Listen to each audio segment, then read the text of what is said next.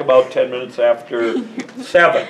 And uh, I think on the 4th, they have a contemporary one, right? Uh-huh. Where they use uh, uh, visuals. Screen. Yeah. And I uh, thought that would be good to take them.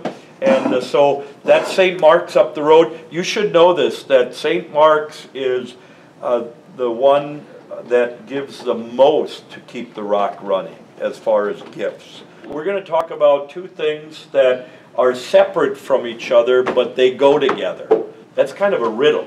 They're separate from each other, but they go together. It's kind of like the food you're about to eat, and then also the prayer that we have at a meal.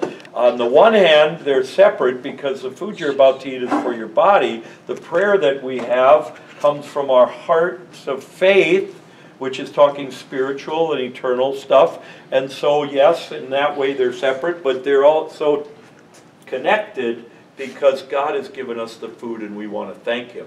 What we'll be talking about at talk time uh, would be the law and the gospel, and you can see how they're separate, but they're together.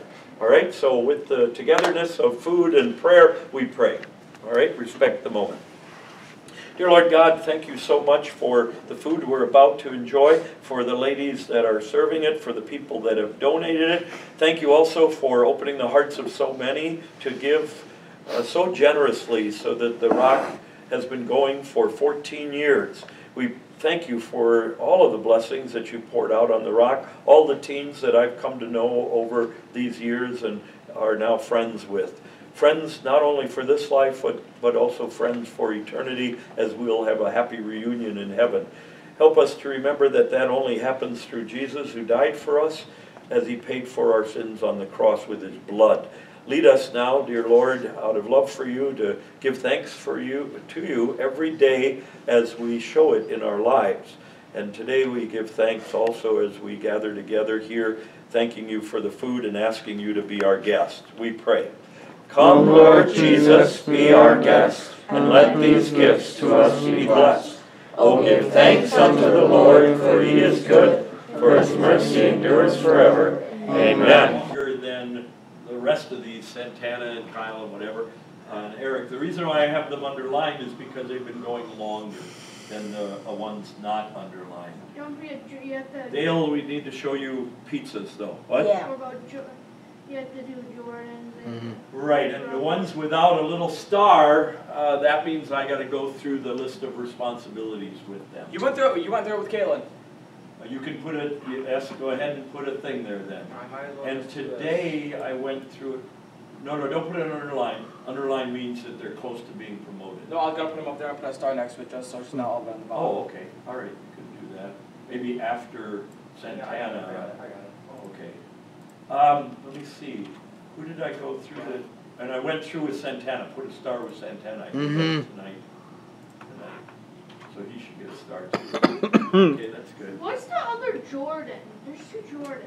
What's the other Jordan? Oh. Well, one's Jordan Vega and the other is Jordan, who's, a- who lives at a, I don't remember his last name, I think it's Nelson. He's at a foster home where, with, um, Ray. Oh, that's. It's Ray, Jordan, Taderio, and, uh, Jaden, right? Yeah. Those four all are in one foster home. And, and that's Dari, not cousin. Dario. Who? Nick. My cousin. Oh, yeah. Nick too. Okay, so now, um, you can go down again.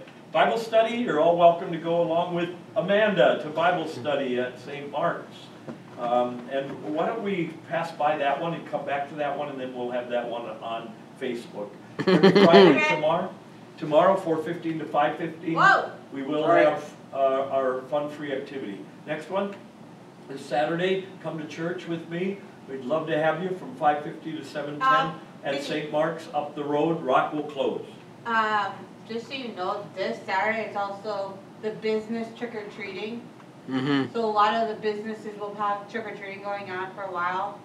And some That's- kids will be going, I think trick or treating with businesses is before we even open. yeah, but I'm just saying sometimes kids. Is trick or treating that night? Oh, yeah. I know. Oh, yeah. Treating is You on Sunday. Is trick or treating that night? It's Sunday. Trick or treating is Sunday. Okay. No, it's Saturday.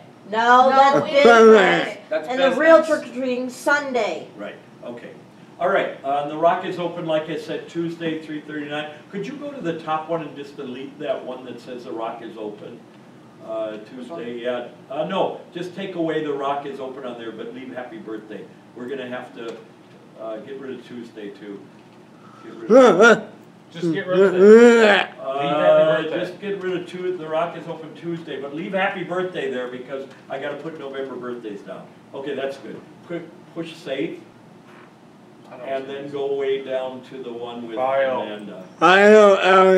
It's all right, it'll, it'll Uh, ask you to it's kill same somebody out of, just to kill them, not, uh, because it's, uh, uh, capital punishment or anything like that. Uh, that would be, you would say, no, I can't do that. But we are to respect the law, and like, we're to do the speed limit and so on and so forth. And God says to respect and obey the law, so when we break the law of the government, we actually sin against God too. You got another one? No, no, I was gonna ask, isn't it still considered a sin even if you're telling like someone, just because you're mad to go to hell, isn't it still a sin? That you what? To tell someone to go to hell just because, uh, you're mad and, Absolutely, that is asking God to send somebody to hell, and we never want to do that. We want them saved through Jesus, their Savior, so that would be a sin, absolutely, to just say, go to hell to somebody, absolutely. Uh, now, I just have made the point again and again that each sin, even if you could keep all of God's law and break it only in one little point, you'd still be deserving of hell. And I would be deserving of hell. And I am, and you are deserving of hell. Because it said in the Bible passage, go up again, it said what? It said, all have sinned and fall short of the glory of God. The glory of God is how perfect? Crystal. perfect. What? Crystal. Crystal perfect, I like that. Crystal perfect, the glory of God, right? Glory of God And- is like, It's pure and- like snow. It's perfect, it's perfect, perfect. God says you've gotta reach this, where have we gone to? Oh. With, with how good we are. Nah, How good are we? God says be perfect, God I- says be I- I- I perfect, wish I was here. but we're not, right? We are down here. In fact, we are sinful by nature and we sin every day and we deserve God's judgment. That is important to know that because here's the good news. Because then you really, really appreciate guilt forgive for God. You should be and I should be, but we're no longer guilty because it's free by God's grace through Jesus, through the redemption that came by Christ Jesus. Wow, that's good gospel, right? Doesn't that make you relieved? Because it, it makes me relieved, because if I only had the law that would show me my sin, I would be so afraid to die. But because of the gospel, I'm not afraid to die now. Dear Lord God, thank you for teaching us today about law and gospel and help us to keep them right as far as the proper distinction between law and gospel, that they are separate, but yet they are connected. They are separate in that the law shows us our sin, the gospel shows us our Savior. They are connected in that the law shows us how much we need a Savior, and the gospel shows us that wonderful Savior in Jesus. Help us, dear Lord, to keep them right so that we don't think that we can earn salvation. That would be putting them together where they shouldn't be. We cannot earn eternal life. It only comes through Christ because we are imperfect and sinful by nature. Help us then to appreciate what Christ has done for us with his perfect life lived for us and his perfect death died for us so that every day we reflect our love for you in how we try to keep your commandments. In the name of Jesus the Savior, we pray. Amen. All right, here's a song.